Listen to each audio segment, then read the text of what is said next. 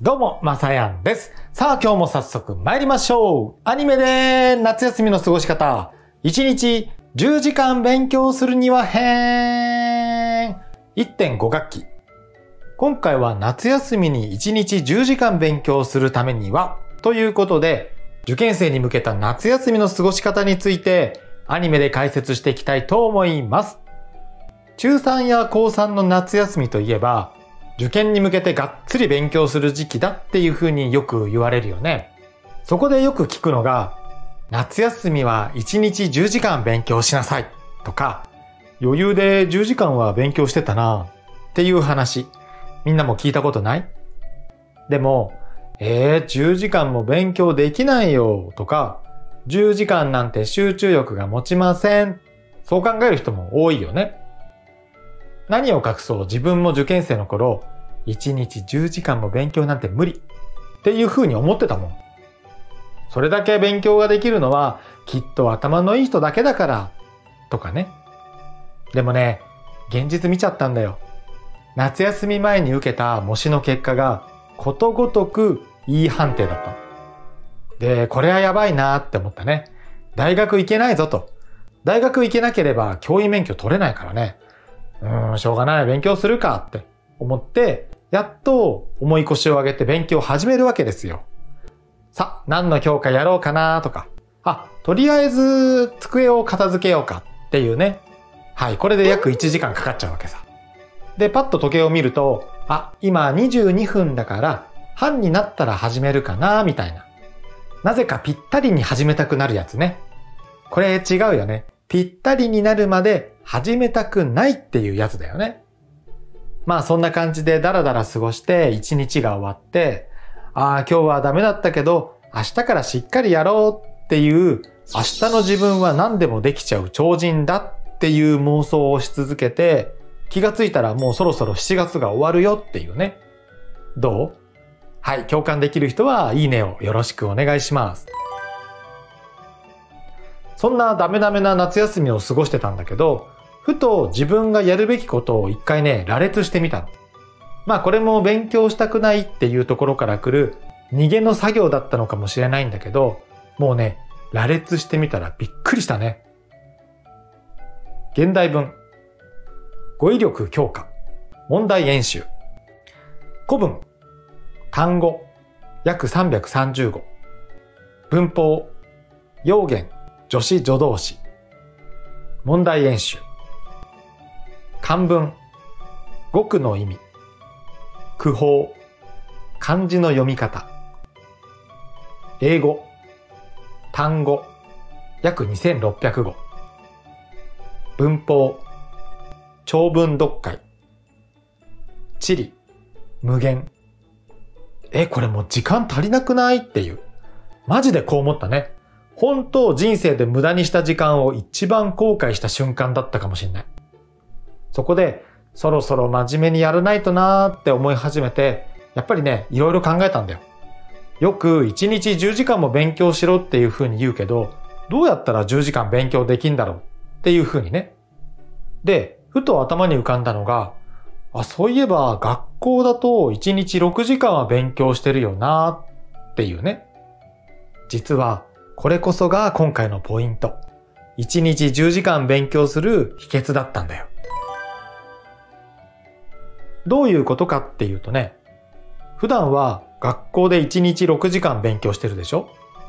例えば、1限が8時40分から9時半までで、2限が9時40分から10時半までみたいな。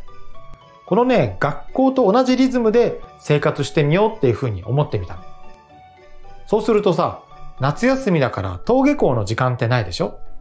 だからその時間を0時間目と7時間目ってことにして前後に足してみたんだね。そしたら8時間の勉強時間確保できるじゃんって思ったの。だから0時間目を7時40分から8時半に設定して7時間目を15時10分から16時みたいにしたのね。で、残りの2時間程度だったら寝る前までになんとか確保できそうじゃん？なんなら3時間はいけそうだなっていうふうに思ったの。そうすれば結果として10時間以上の勉強時間を確保できるじゃんっていうね。あ、ここで気づいた人いるかもしれないけど、学校の授業って50分だよね。だから、厳密には10時間は勉強してないんだけど、まあまあ細かいことはあまり気にしない。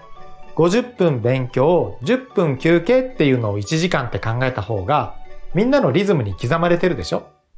つまり夏休みは1.5学期っていう風な考え方にしてみたの。そしたら、これがめちゃくちゃ勉強しやすくてさ、あっという間に1日が終わったね。うん、やっぱり夏休みだからって普段のリズムを変えるのが良くなかったんだろうね。自分にはこの生活リズムがぴったりだったの。さあ、これで1日10時間の壁はクリアしたと思うんだけど、いざやってみると、次何の勉強しようって考えちゃう問題はクリアしてなかったんだよね。これさ、学校ってみんなが何も考えずに授業を受けられるシステムがあるでしょ？そう、時間割だよ。1限数学、2限体育、3限現代文とかね。この体育の後の現代文ってまあ静かなんだよね。寝る人多いから。これさ、先生あるあるだと思うんだけど、どう？みんなもそんなイメージない？まあ自分の授業は寝かせない工夫してたから、ほとんど寝てる人いなかったけどね。っていう話は置いといて、話を戻しましょう。時間割の存在って超画期的で、生徒の動きを自動でマネジメントしてくれるすごいやつなんだよね。夏休み、学校と同じリズムで勉強することはできそうだけど、でも何やるかそこで少し悩んじゃうっていう人は、ぜひ0から7時間目まででいいから、時間割を作ってごらん。細かく決める必要はないから、古文とか英語とかね。使ってる参考書の名前でもいいよね。あとはほら、ここ YouTube だからさ、見たい動画とかを書き加えておいてもいいよね。はい、せっかくなので宣伝しておくと、概要欄に夏季講習用の動画を載せてあります。これ、実際に高校1年生の夏季講習で使ったテキストと動画なので、ぜひ古典文法の要言が苦手だっていう人は見てみてください。はい、いかがでしたでしょうか？今回の動画は自分が受験生時代の夏休みに実際にやってみて効果が出た学校と同じリズムで時間割を作って勉強してみるっていうお話でした。夏休みって急にフリーな時間ができて時間を持て余しちゃう人が多いので受験勉強しなきゃっていう人はぜひ参考にしてみてください。ということで、このチャンネルでは高校の古典で扱う作品のざっくりとしたあらすじの解説やテスト対策用の動画を上げていきますので、よかったらチャンネル登録、そして高評価をよろしくお願いします。それと、古文単語の意味や過去の動画の検索に使える公式 LINE もありますので、ぜひ概要欄から登録してみてください。それではまた次の動画でお会いしましょう。お相手はまさやんでした。バイバイ。